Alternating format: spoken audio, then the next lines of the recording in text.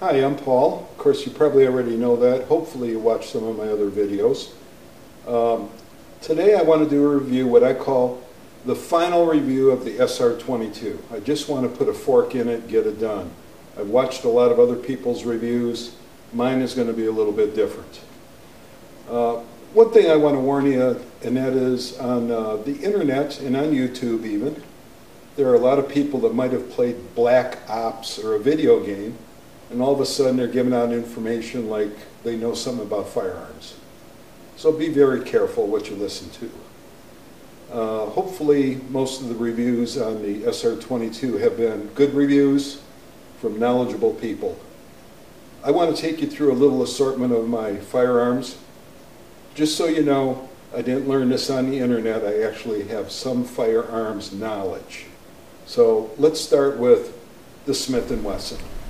Okay, this is a Smith & Wesson 19-3. I believe it's called a Target Masterpiece. Unlike the Combat Masterpiece, it has adjustable sights. This gun's in 357. It's a beautiful gun. As you can tell, this is not a discount store gun. Um, shoots great. I love it for what it's intended for, and uh, I wouldn't part with this. And let's move on to something I just picked up. I just picked up a SIG 226 Extreme. This is not a discount store gun. This isn't even a gun store gun. Very few gun stores would have this in stock. This is a special order gun from their custom shop. Again, um, very nice gun. I really love this. I just got it. I have to play with it a little more to see how much I love it. But I'm real happy with all of my SIG guns. Again, expensive gun.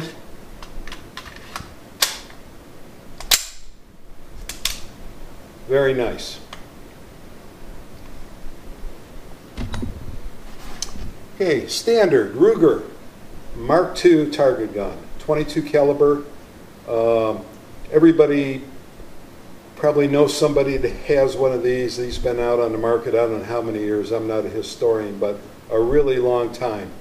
People think they look like a German Luger. I guess they kind of do. Um, very accurate gun, very reliable for 22. Uh, Browning makes a gun. It's pretty much equivalent. Some people say better or worse. I don't know. Uh, High Standard makes one. I believe Smith & Wesson makes a Target 22 gun. Um, any of the pistols like this are really accurate guns, uh, no matter who makes them. They seem to be pretty good gun to have.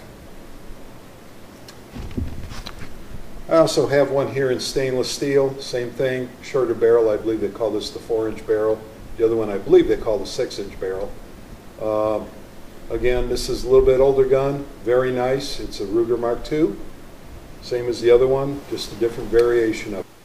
Just to remind you, this video is really about the SR22. I showed you these other handguns, just so you know you're dealing with someone that has touched other guns. It's not like I just got an SR22 and this is the only gun in the world. I have a lot of experience with a lot of different handguns.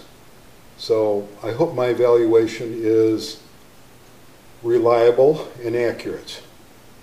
Okay, first of all, with the SR22, I want to tell you, I've shot a lot of different ammo in it.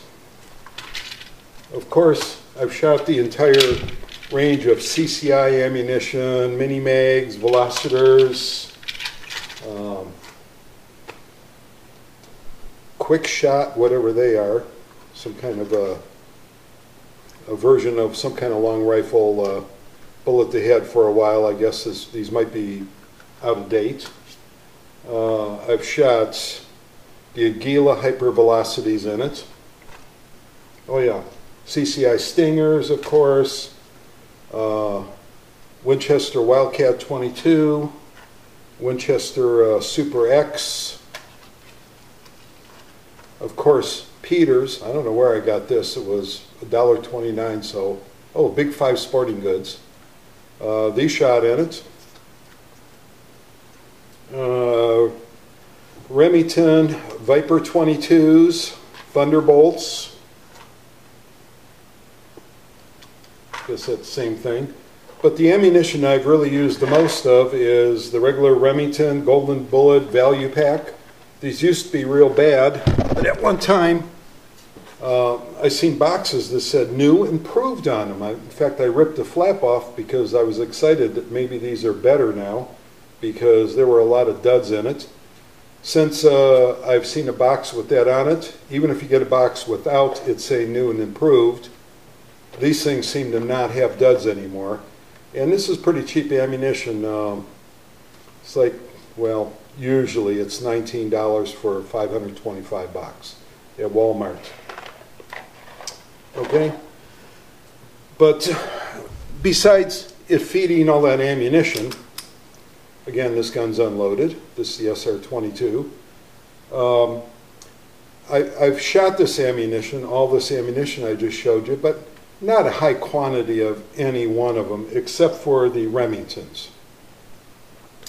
But what I'm going to tell you is, my experience with the small 22s is every one I've ever had has been a jam-o-matic. I mean, jam, jam, jam.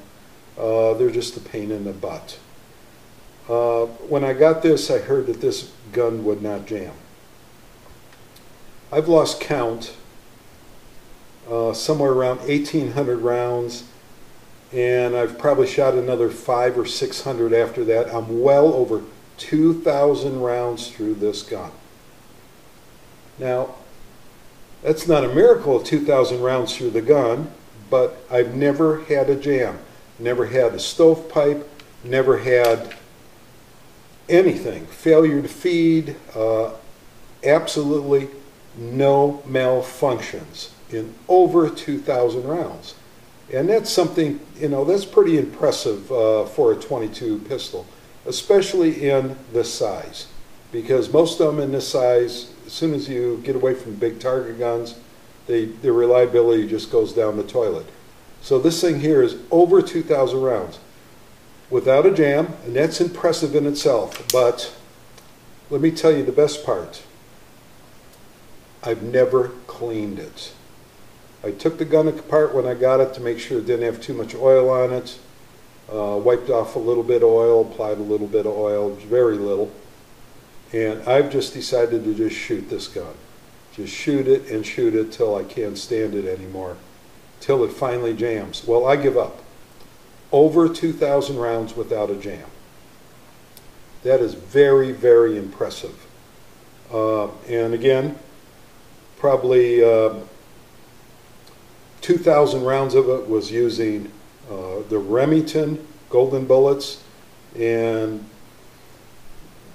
hundreds of rounds using assorted CCI and all these other brands of uh, ammunition that I happen to have. So I am very, very impressed with the reliability of this gun. Uh, when I had it out last time, I have some other videos with my grandkids and stuff shooting. Um, when they got their hands on this gun, although they like shooting the Mark IIs, when they got their hands on this gun, that was it. They wouldn't give it back. Of course, I knew enough to give them this gun last. And they just shot it like crazy. There's a lot of videos where they're trying to take the grip off and they can't get the grip off. See, it's got interchangeable grips. If you don't squeeze it, if you grab it in the front and the back, don't grab it sideways like this and try and pull because you're making it tighter. If you just slightly grab it, front and rear, pull, the grip comes off. Smaller grip goes on. That easy. Uh, perfect for small kids, uh, petite women, anyone with small hands would really like this small grip. Uh, the magazines, they have a floor plate you can put on, so it's a little extension to extend the grip out a little bit, or not, whatever you'd like to do. There's another attribute to this gun that I have to talk about, and that is the accuracy of this gun when you shoot it. Almost all small guns like this are kind of inaccurate. I'm going to tell you, a Mark II is a very accurate gun. This is so close. Okay, here's the SIG Extreme, SIG 226. This is smaller, but as you can see, the sight radius isn't really that much shorter. If you practice with this gun, you'll shoot this one here very well. So my overall review of the Ruger SR22 is I, I, just can't give it a higher rating. The only thing I can think of is if they had fancied it up a little bit or something. Reliability, just amazing on this gun. Accuracy for a gun this size, amazing. Uh, price, on the street, we all know prices vary, and I've seen these go for much more than they should. But these here, you should be able to pick these up 350 or less. Course, that might depend on what state you live in too. But these are very economical guns to own, very economical guns to shoot because they are 22. And like I said, it's a very reliable gun. Nothing upsets me more than having a 22 rifle or pistol that jams because a lot of times these are in the hands of people that uh, aren't very experienced and they can get really frustrated real quick. But this gun here, amazing, amazing reliability. I just can't tell you how reliable this thing's been. So I would recommend this.